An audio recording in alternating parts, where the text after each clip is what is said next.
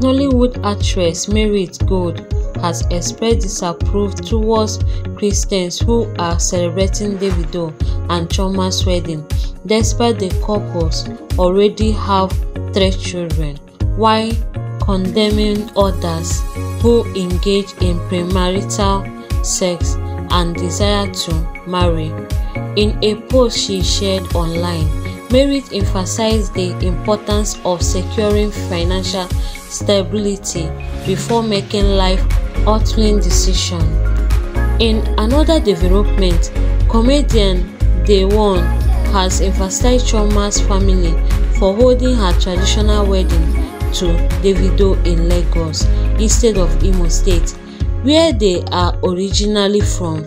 In a video shared online this morning, Deeone suggests that Igbo tradition seems to have two standards, one for the rich and another for the poor. He points out that Igbo marriage custom typically require the bride to have her traditional wedding in her village. However, because Davido is wealthy, Chioma's family bypassed this tradition and held the wedding in Lagos. He urged that if the bride were of low socio-economic status, her family would have insist on holding the wedding in the village. The one also notes that hosting the wedding in the bride's hometown would have provide economic benefit to the region, such as increased business for local hotel and vendors. Let's take some comments. Kennedy said, We are celebrating wedding, not kiss. Go do your own and people will celebrate you. Stop being jealous. And Samson said, Why pointing fingers when we are guilty? Girls wey dey wed dis day wear white are the virgin or you don't know white symbolize virgin. That is not your problem. Now the Davido own be your problem. See you no even get problem.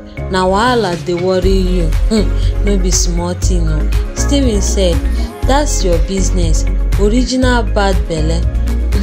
we we continue to celebrate them abeg.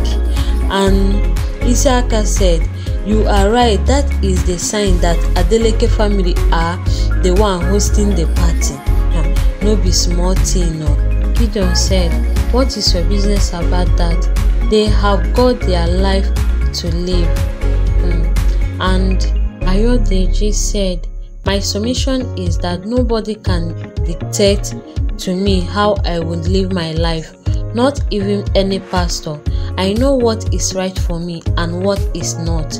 Guys, wow, this is the end of this video. Love you guys. See you guys in my next video. Bye bye.